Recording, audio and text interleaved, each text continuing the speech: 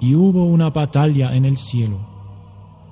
La simple declaración contenida en estas pocas palabras se refiere a un evento de tal magnitud necesitamos dar atención palabra por palabra para poder captar aproximadamente su significado. De la palabra guerra tenemos alguna experiencia, por lo menos indirectamente. Pero nuestras ideas de cielo son en realidad rudimentarias. Y la poca ayuda que nuestra imaginación nos ofrece entra en confusión por el intento de unir nuestra imagen de cielo con cualquier idea bélica.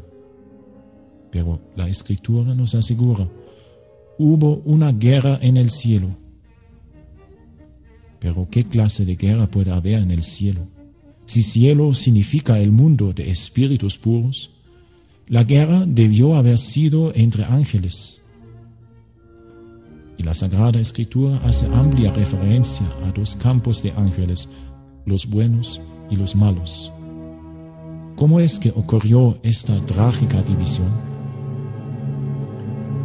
La tradición católica nos enseña que después de crear Dios a los ángeles, los sometió a una prueba Sabemos por el Génesis que nuestros primeros padres también fueron sometidos a una prueba. Efectivamente, Dios no hizo las cosas fáciles para sus criaturas. Pero debemos recordar que solo es porque desea compartir su vida más íntima con ellas. Y Él quiere que la escogen libremente, para que puedan disfrutar de la maravillosa experiencia de heredar la felicidad por la que ellos mismos han optado. ¿Cómo fue posible esta prueba para un espíritu puro? El gran teólogo jesuita Francisco Suárez sugirió que Dios reveló su plan de la creación del hombre a los ángeles y que Él se proponía hacerse hombre y ser adorado aún por los ángeles en esta forma tan baja. Los ángeles vieron lo suficiente de este plan como para darse cuenta de que iba más allá de lo que su intelecto podía captar y que sólo podía ser aceptado en fe, confianza y humildad. Ese sería el precio de su opción voluntaria por el ofrecimiento de Dios. Todos los ángeles sintieron la prueba en este misterioso plan. Así como con la prueba de nuestros primeros padres, a la criatura se le pidió someterse a una condición que no comprendía plenamente.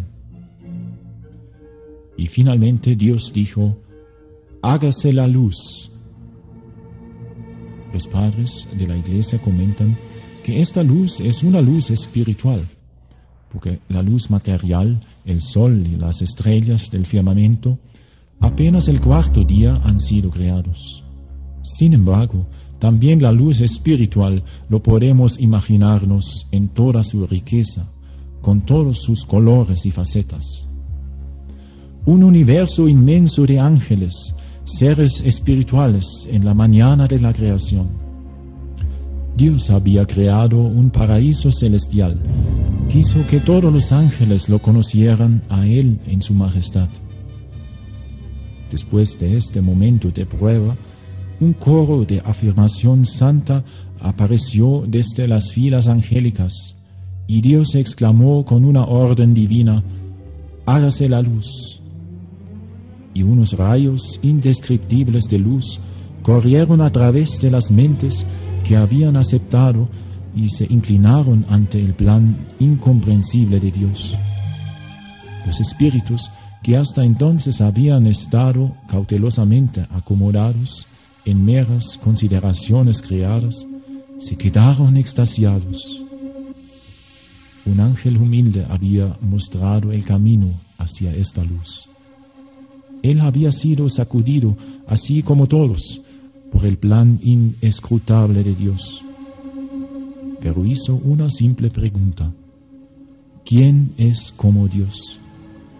Y esa humilde pregunta se convirtió en su nombre, Miguel. Guiados por este modesto arcángel, todos los coros de ángeles cantaron, Santo, Santo, Santo, Señor Dios de los ejércitos, el cielo y la tierra están llenos de tu gloria. Y se hizo la luz, y Dios vio que la luz era buena. Como la bóveda del cielo terrenal está repleta de luz, nadie piensa en el negro espacio abismal exterior miles de kilómetros más allá. ¿Y por qué hacerlo? El negro es ausencia de luz y no puede ser ponderado, así como pisar huecos o leer espacios en blanco. Así que al primer hágase la luz de la creación, casi ninguna mente notó que todo un cuerpo sombrío de espíritus creados había retrocedido en sus propias ideas acerca de cómo debían de ser las cosas y exclamaron no al plan misterioso de Dios. Y Dios separó la luz de las tinieblas. Y los santos ángeles se encontraron divididos en una masa de criaturas hermanas que habían optado por rechazar todo lo que no podían entender ni controlar. En lugar de eso, intentaron crear su propio mundo de tinieblas en su horror y perplejidad. Y desesperado como un hombre ahogándose en su propio vómito. Dios impuso la separación de los ángeles buenos de los malos. Los ángeles obedientes se convirtieron en luz y Dios vio que era bueno. Los demás se convirtieron en oscuridad y Dios ya no volvió a mirarlos. Es un poco más lo que se dice de ellos en el relato de la creación, tan indignos de ser comentados y tan envanecidos al hacer referencia a ellos. Pero el Señor Dios sí les concede una última mención y esto referente a su trabajo. Dios llamó a la luz día y a la oscuridad la llamó noche. Un grupo participó de la luz de la bondad y de las obras para la luz, para extenderla, señorearla y protegerla. El otro grupo participa de la negra oscuridad y la ausencia de luz de Lucifer, portador de luz. Él rompió su luz por el orgullo y trabaja con sus cómplices para extender, señorear y proteger la oscuridad. La noche siempre tendrá que decir en la historia y tendrá aún su hora. Esta es su hora y el poder de las tinieblas. Nuestro Señor dijo a Judas, pero después siempre seguirá la luz. Y fue la noche y la mañana del siguiente día. La noche tiene su hora, la mañana tiene su día. ¿Quién no puede ver que tal hora es la hora presente?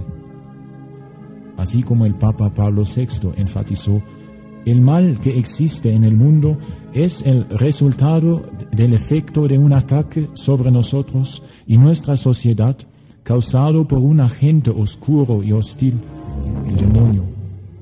Sabemos que este ser oscuro y destructivo realmente existe y aún está activo. Sería muy importante regresar a la enseñanza católica sobre el demonio y la influencia de la que es capaz.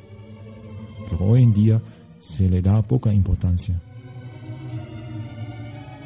Tanto el Vaticano II y Juan Pablo II han prestado sus propias voces a este llamado de la Iglesia de que no olvidemos que nosotros nos encontramos no solo por debajo del cielo, y la tierra en el orden del ser, sino también entre ángel y demonio, en el orden de la opción moral.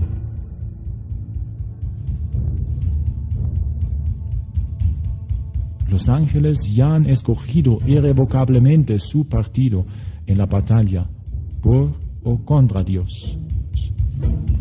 De hoy en adelante, nuestras opciones son las únicas que cuentan.